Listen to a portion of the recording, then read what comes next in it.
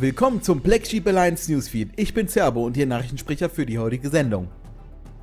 Achtung, Achtung, die BSA hat wieder mit dem Flugtraining begonnen. Deshalb seien Sie bitte besonders vorsichtig bei Start und Landung.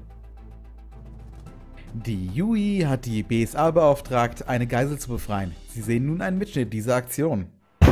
BSA, open up.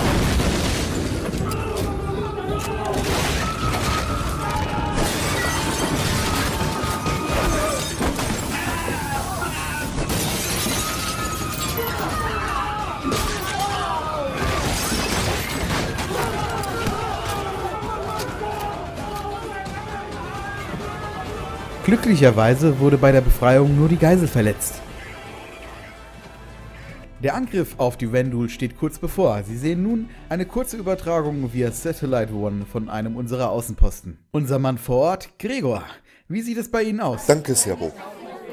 Niemand hier im Außenposten weiß, wann der Angriff auf die Vendel stattfinden soll. Aber alle reden natürlich darüber. Und es heißt vielleicht ja schon morgen. Ich sehe hier eine Gruppe junger Black Sheep, die wohl gerne ein paar Vendel zum Frühstück hätten. Ja, ja. Was ist Ihre Taktik im Kampf gegen die Vendul? Hey, wir schießen da einfach mit ein paar Granaten. Ja, das wird die Bugs fertig machen. Ich hoffe nur, dass nicht alles vorbei ist, bis wir da sind. Hör auf. Manche sagen, dass der Mensch durch das Eindringen in ihren Lebensraum die Vendul provoziert hat und dass eine friedliche und ausdrückliche Politik besser wäre, als sich in den Krieg zu Ich stürzen. werde euch dazu mal was sagen. Ich bin aus Buenos Aires und wir werden sie alle platt machen. Na, das hört sich doch vielversprechend an. Nun zum Abschluss noch etwas in eigener Sache, denn das BSA-Rekrutierungsbüro hat wieder geöffnet. Somit wünschen wir Ihnen einen schönen Abend und bis zum nächsten Mal beim Black Sheep Newsfeed.